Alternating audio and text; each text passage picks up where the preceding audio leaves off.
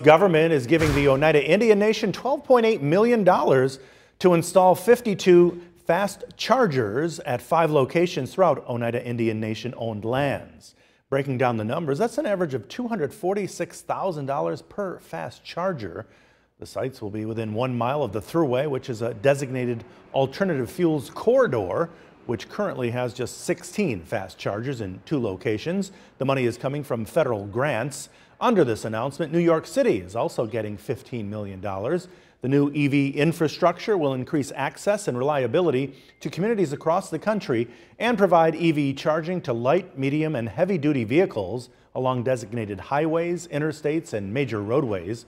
These awards are part of a $521 million grant to continue building out EV charging and alternative fuel infrastructure in 29 states and eight federally recognized tribes. And there are also 10 new electric vehicle chargers installed at the Adirondack Bank Center in Utica at the Utica Memorial Auditorium right there. These chargers were funded by state grants through New York State Energy Research and Development or NYSERDA, as well as National Grid. They're located in the parking lot near the Don's Ford ticket entrance on the backside of the Aud.